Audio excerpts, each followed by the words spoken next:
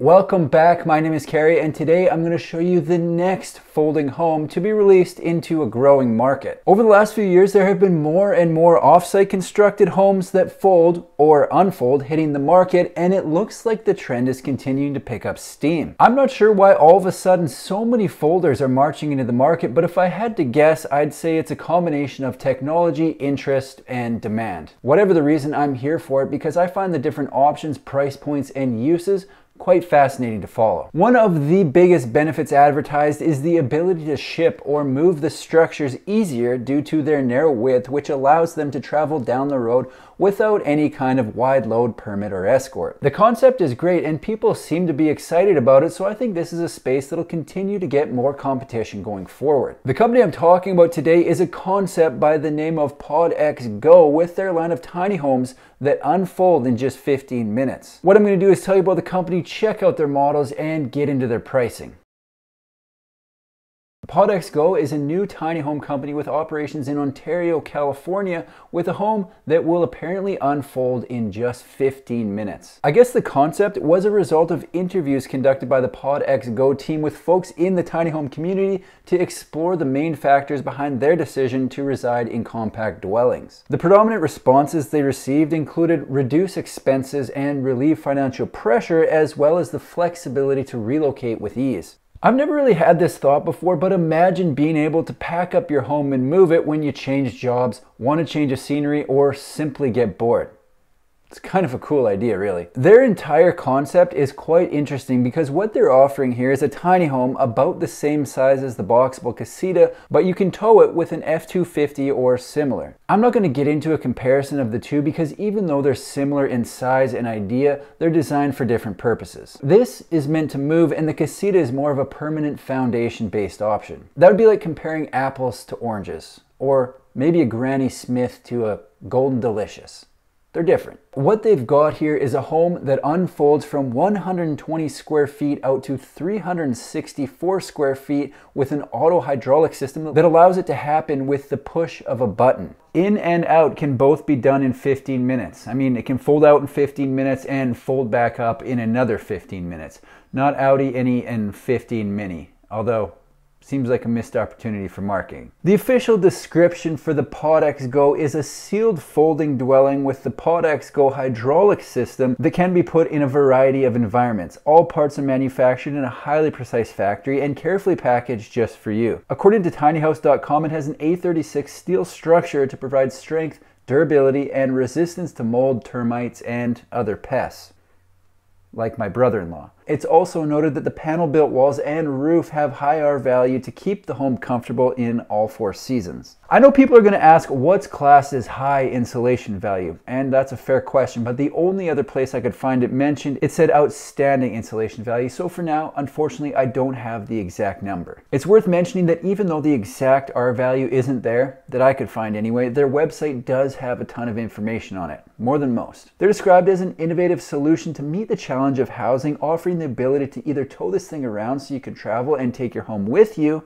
or downsize and have an extra home in the backyard. Whose backyard you'll actually be able to unfold this thing in depends on the city and the zoning on the property, but they've got more information about that online. It's going to differ from place to place. When looking at what's allowed where, it's important to know what we're dealing with. The PodX Go is a tiny house and it says on their website, the PodX Go must meet certain building standards that are set by regulatory bodies. It goes on to say this includes the NOAH Plus standard, which was developed based on the National Organization of Alternative housing guidelines. As part of meeting the NOAH Plus standard, the PodX Go must be signed off by an RVIA inspector and abide by all local building codes. It's good stuff to know. The question becomes if you want to get your mitts on one of these things, how do you actually go about doing it? As luck would have it, they've got an infographic on their website that keeps it nice and simple. Step one is listed as define your needs and priorities. Step two is choose your model. Step three is decide how you're going to pay important step. Step four is order and confirm delivery. Step five is pay a deposit. Step six is track production online. Step seven is delivery or pickup. And step eight is payment and enjoy. Everything PodXGo offers is designed in California but manufactured in China, so when they're finished production, they ship them on over. They've got a crowdfunding campaign set up on Indiegogo and it's listed in concept phase,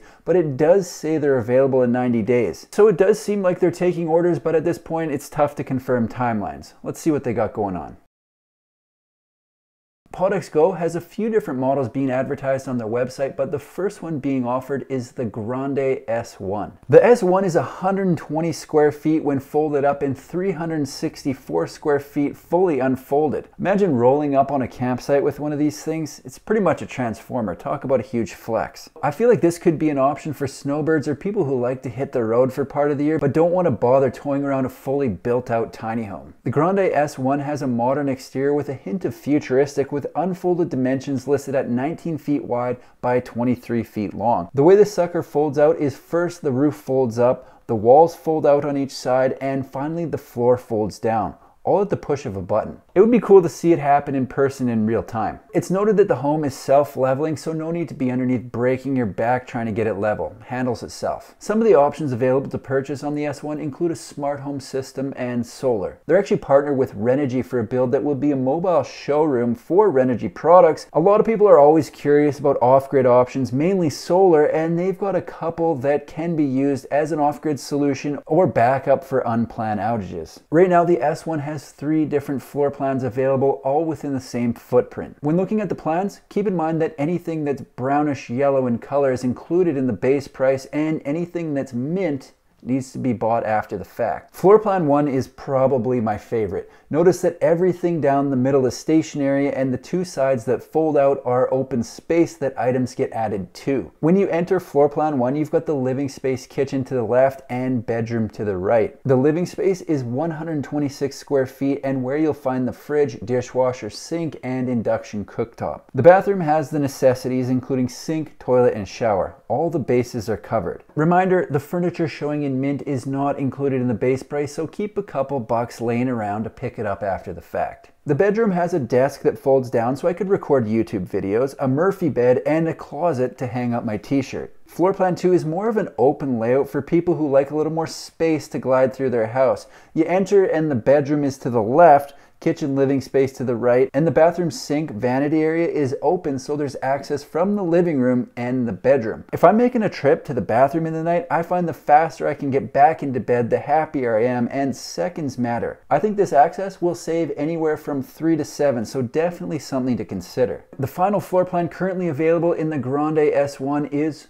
floor plan three. To be perfectly honest, I'm having a hard time visualizing this plan. I think it's one I'd have to get up into to see what it's all about. Basically, you walk in and the living space is to the left and you access the bedroom through the living room. It has all the same stuff, just in a different configuration, and for whatever reason, it's thrown my brain for a loop. Need to see this one in person. Before I wrap this thing up, I am going to check out their pricing, but keep in mind prices can and usually do change, but will be accurate at the time of posting this video. I've never backed anything on Indiegogo Indiegogo, so I'm not overly familiar with how that works, but it looks like they're running discounts for people who back their idea. With said discounts, prices are currently ranging from 49,000 to 69,000, and with no discount at all, the price is showing at $85,000. Like I said, this is an interesting idea and I'm eager to learn more about it as things progress. PodXGo is a California-based company with an unfolding tiny house concept that'll be manufactured in China. The home that unfolds is an idea that's been getting a lot of attention lately and it seems like there's big time demand for it in the market. PodXGo is approaching from a different angle with a more mobile solution that actually remains on wheels. I think it's a cool concept and I am interested to see one of the finished units so I'll be following along with what they're up to and posting updates right here on my YouTube channel.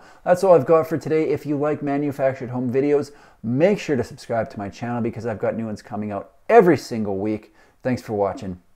See you in the next one.